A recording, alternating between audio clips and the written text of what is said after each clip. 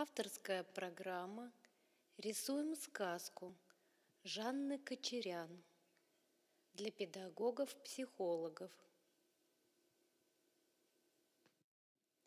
Программа состоит из пяти блоков. Первое. Дети слушают инструкцию к программе. Второе. Дети прослушивают фрагмент сказки, рисуют на листах то, что считают нужным на основе предложенных им иллюстрированных материалов. Главные герои, предметы из сказки, любые ассоциации на основе прослушивания сказки, свои дополнительные герои по желанию. Дети отвечают на вопросы по картинкам для принятия творческих решений – обсуждают иллюстрированный материал. Третье. Дети прослушивают песенки героев между фрагментами.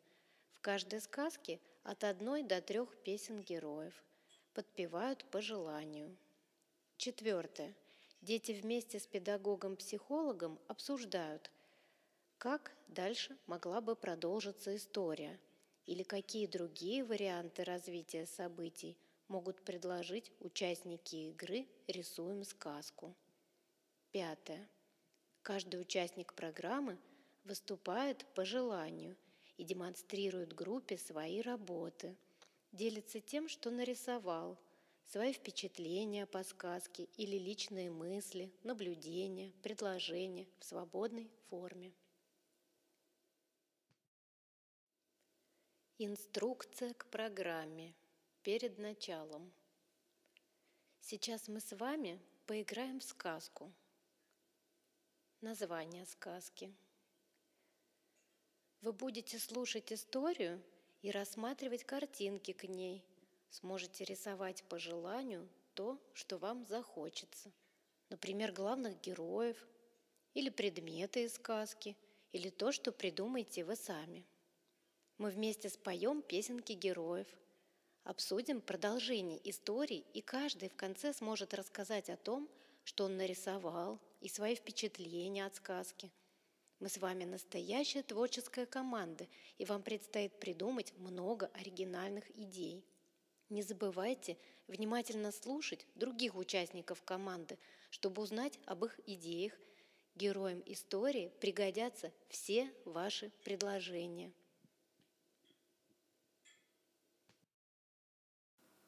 Сказка про лесного киша.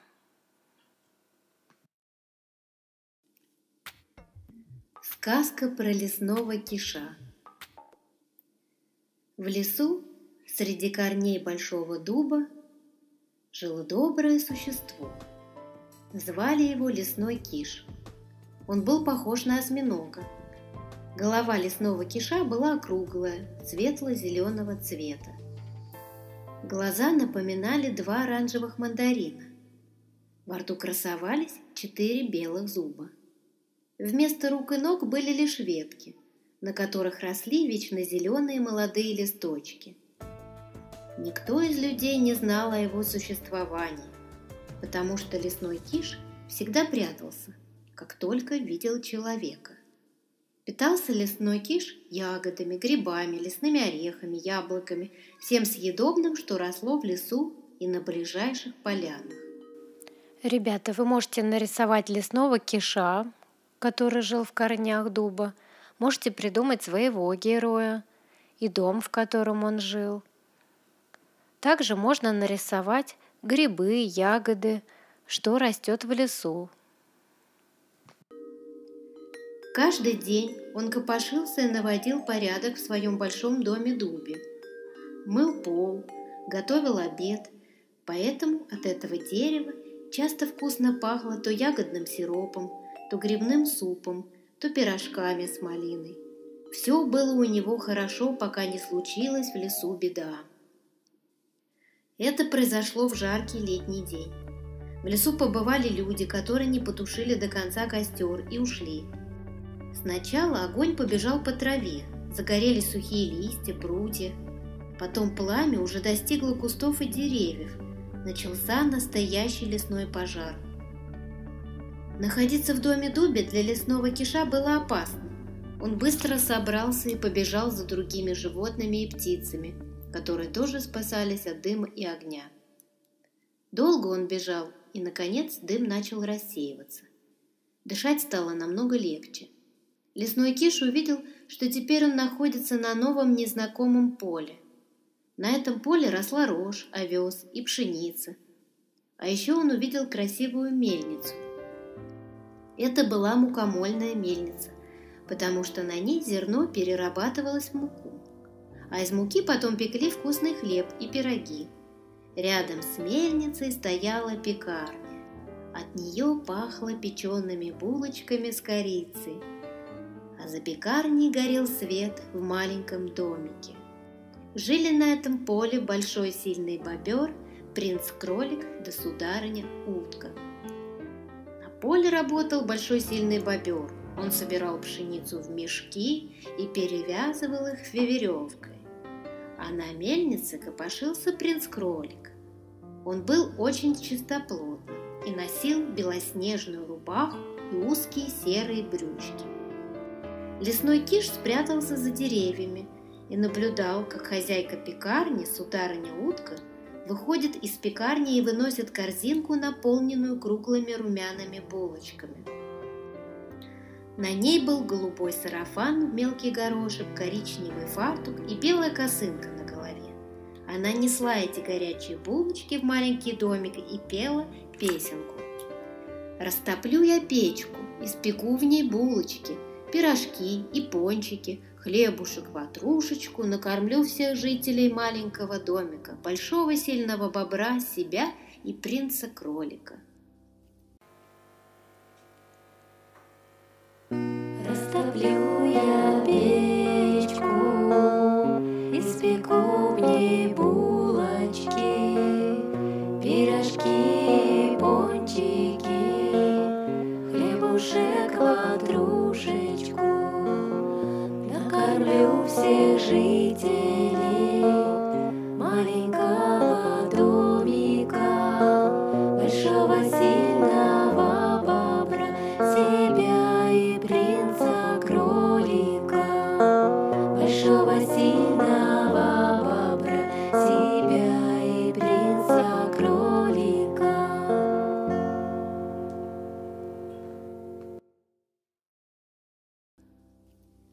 Понравилось лесному кишу и песенка, и жители этого поля. Тогда он решил попроситься жить к ним. «Кто ты такой? Откуда?» – спросил лесного киша большой и сильный бобер. «Я лесной киш. Жил в корнях большого дуба на лесной поляне. Но потом начался пожар. Чихнул лесной киш, вспоминая пожар. Тогда он остался без дома. Ему негде было жить. И он сказал, возьмите меня в помощники. «А что ты умеешь делать?» – спросила его сударыня утка. «Я хорошо разбираюсь в деревьях и ветках.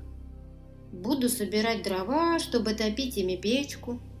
«Давайте возьмем его в помощники», – предложил принц-кролик. Ему очень хотелось помочь лесному кишу. «Давайте!» – решили сударыня утка и большой сильный бобер. Стали они вместе работать на своей хлебной ферме.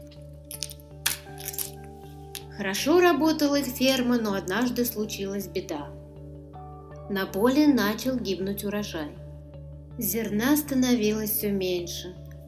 «Что случилось с пшеницей, большой бобер?» – спросила его сударыня утка. Большой бобер рассказал, что он видел, как со стороны леса, где недавно был пожар, прибежала большая стая хлебных вредителей. Среди нее были жуки, клещи и вредные гусеницы. Все жители маленькой фермы вышли и увидели своими глазами, как стая вредителей пожирает их зерно.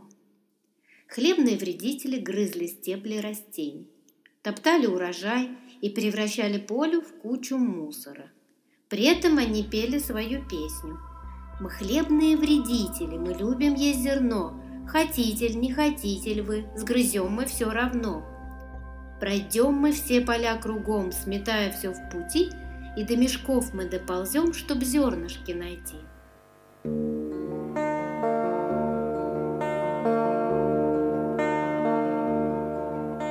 Мы хлебные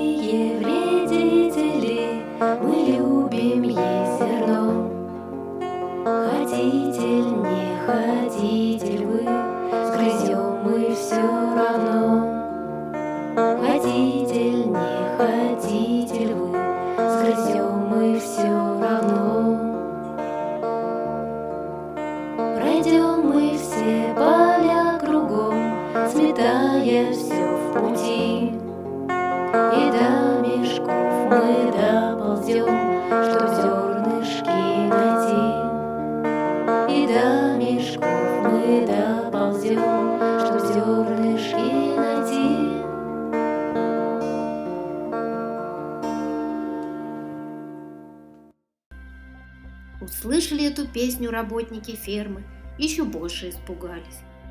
Они зашли в свой маленький домик. Принц-кролик спрятался под стол и дрожал от страха. Сударыня-утка охала и ахала. Большой и сильный бобер пытался остановить врагов, но ему не удалось. Слишком их было много. Лесной киш долго думал, и вдруг он спросил. «Где тут у вас растут дубы? Далеко ли?» «Я знаю только один дуб», — ответил ему принц-кролик. «До него не очень долго идти». «Ты сможешь меня проводить до него, принц-кролик?» — попросил лесной киш. «А зачем тебе идти до дуба?» — подозрительно проворчал большой бобер. «Ты, наверное, захотел бросить нас в беде и найти себе новый дом». «Я пойду за помощью», — ответил лесной киш. «Идите скорее», — торопила сударыня утка. Принц-кролик и лесной киш быстро пошли искать дуб. А тем временем бобер говорил всем, что лесной киш их обманывает. Он не верил в то, что тот сможет найти способ защитить их ферму. Большой бобер сделал себе острый меч и пошел на поле бороться с вредителями в одиночку. Если лесной киш придет с помощниками, то пусть они направляются в поле, «А пока я сам постараюсь остановить грызунов», — сказал большой бобер. Принц-кролик быстро бежал по лесной дорожке. На его спине сидел и крепко держался лесной киш. Наконец они добрались до большого зеленого дуба. Лесной киш стал усиленно копать около корней дуба, забираясь все дальше и дальше внутрь дерева. Принц-кролик помогал ему копать даже не боясь испачкать свои белоснежные лапки. Общая беда объединила их усилия, они стали очень смелыми. Потом Киш исчез. Его долго не было ни видно, ни слышно. «Эх», — подумал принц-кролик, — «прав был большой бобер». Бросил нас лесной Киш. Достал принц-кролик из кармана белый платочек и горько заплакал. Но вдруг он услышал шум из-под земли. Корни дерева начали расходиться в стороны. Оттуда вышел лесной киш, а за ним двигалась целая армия жуков-пожарников в красно-черных ярких жилетах. «Садись на меня, лесной киш», — сказал радостный принц-кролик. И они поехали спасать свою ферму. Когда они добрались до поля, то увидели, как смело сражается большой и сильный бобер. Он ловко бился своим копьем, но враг не поддавался ему — Большой бобер увидел, что идет отряд спасателей и радостно закричал. «Вот сейчас мы вам покажем, жадные обжоры!» И начался бой. Жуки-пожарники прыскали во вредителей баллонами с пугающей смесью. Испугались вредители, да ушли с поля навсегда. А лесной киш остался жить на ферме вместе с принцем-кроликом, сударыней уткой и большим бобром. Всех жуков-пожарников накормили вкусными булочками и пончиками. Теперь у фермы появилась надежная охрана. Лесной Киш был рад, что ему удалось встретить много друзей, ведь раньше он жил совсем один. Он не представлял, как весело быть помощником в таком интересном деле, как производство хлеба.